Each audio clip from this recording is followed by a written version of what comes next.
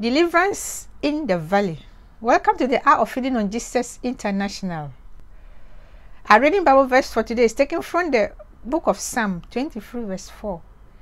Even though I walk through the valley of the shadow of death, I will fear no evil, for you are with me, your rod and your staff, they comfort me. Amen. Beloved, in the valley of the shadow of death, we battle with hopelessness and the fear of being abandoned.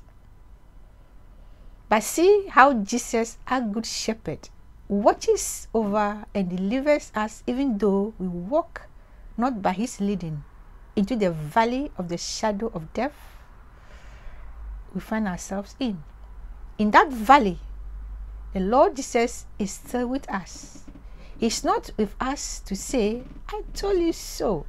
He's not standing there with arms folded to see how we will get out of the trouble we got ourselves into.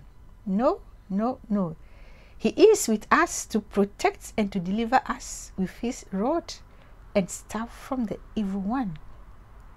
Beloved, Jesus is a good shepherd, a good shepherd, whose tender heart toward you will never allow him to forsake you when you need him the most.